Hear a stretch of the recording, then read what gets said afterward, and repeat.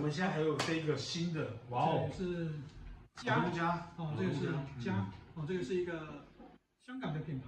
对，哦，品家，品家，嗯，它是品家家品还是品家？品家加品，品家加品，它的名字就叫它是四个还是两个字？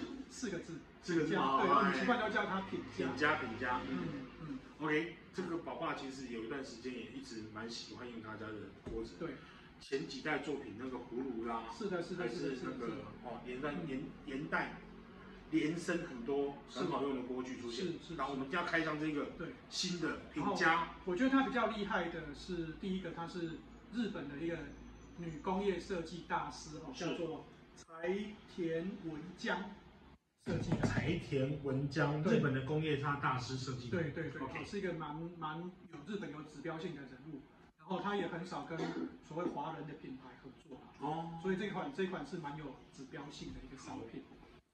然所后以所以家家里面要有一些质感商品，真的可以去挑选一下品家家品这一类这个系列，是是哦最新的这个系列对，然后它有里面一共有四个套件哦，然后四件套对，然后它的说明书我觉得还蛮精致的。是说明书，然后它有一个呃一样是细胶的锅垫，哇哦，锅垫，这个蛮扎实的。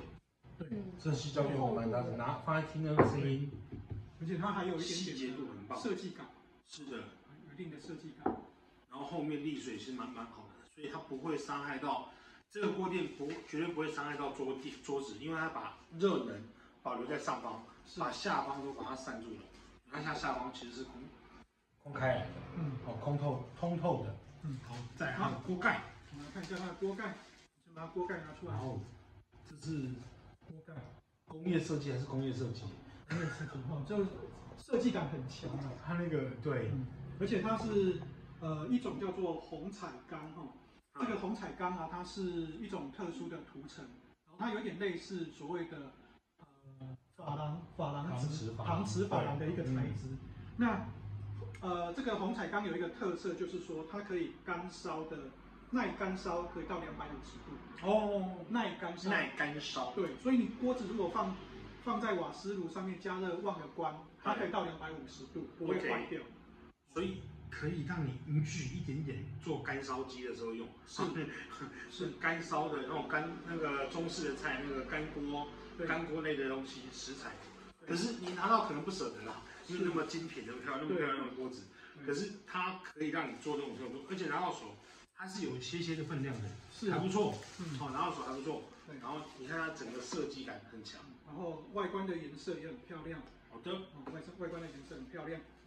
它它也还有一个概念，就是说可以让你一锅到底。我们一锅到底有时候是指说哦，我可以做很多道菜。是，然后它这个是，比方说我料可能是放在冰箱里面，对，我从冰箱里面取出来，我可以直接加热。然后加完热之后，可以变成一个餐盒带出去，哦，或者是再回到冰箱里面去。了解。这个锅子煮完了。嗯，然后吃吃了还还有一些，或者是高汤还留在里面，对。我们可以加上盖子。对，直接冰着。加上盖子。啊，加上盖子，嗯。然后进冰箱，是。然后出门，或者是你外面再有个做个布包，是。布包再带带出门，是。跟大家分享，是。也是可行的。是。这个又回到干锅鸡了，是的，是的。然后它还有一个特色，就是说它被它有被在台湾有检验过吗？S 对。S G S 有检验过，是。它是可以呃有那个远红外线，哦它的放射率超过百分之九十五，所以呢，它在料理的时候啊，可以维化水分子还有油，哦，所以维化水分子，所以煮煮那个排骨在在乳化这个汤的时候会很快速。对，哦也会也会比较呃营养比较能够被保留下来，是。嗯，，OK，营养比较容易被保留下来。是是，是。OK，它还没有结束哦，还没有，这样我们现在在听。这样子。然后我们来看它一二三三件套了，第四件套是什么？第四件是也是一个很厉害的东西，是。这是一个。那个你要你要表演一个可以拆卸的手把可手柄，可拆卸式手柄。可拆卸手柄。好，我们来看一下它的设计。因为一般锅子，呃，我们都会觉得说它应该有一个手柄嘛，对，有，一个握柄，是。那它是做成可拆卸式的，哦，单手操作的。对，哦，然后，呃，我也是第一次使用它，它需要左右是不是？对啊，对，左右左，右，啊，左右，然后来夹住它，对，它需要有一点有一点下面那个按下去，对嗯，这样子，然后搬回来，对就可以拿起来烧了。然后这是在这是在炉灶上煮的时候的过程的长相。是是，我们放在桌上吃，有时候整个锅子在桌上吃，那一根把子很碍眼，它就可以拿掉。是哦哦，所以上桌比较好看。对，然后吃吃到可能一个人吃吃完还有还有一半，那嗯我们还是把它不要浪费，我们把它整个盖子盖子盖着，然后去进冰箱。是的，这个其实蛮适合那种肉燥的，就是跟人腾腾会盖能盖个家那是的那种那种机会哦。对，而且比方说，我今天要呃进烤箱，是哦，我就可以不用担心说，诶，我买了一个锅子，然后有一个哦，握把握把，然后不能不能够垂直不能够进烤箱，那它就有这个好处了，是，哦，所以它可以有很多的用途这样子，对，嗯，好，然后它整个其实拿到手的话，它整个厚实度其实蛮好的。对，摸到这个钢哦，你说这个叫做红红彩钢，彩钢，红彩摸到这个钢，钢，它的扎实度很强。嗯，然后这里面其实它它是另外一种涂料，它不是搪瓷，看起来很像搪瓷啊，是可是不是。哦。嗯嗯。所以它的耐耐干烧可以耐到两百五十度，哦，嗯，这是蛮特别的。对，普通的搪瓷到两百五十度已经超过就裂痕了，是的，哦，大家可以去考虑一下。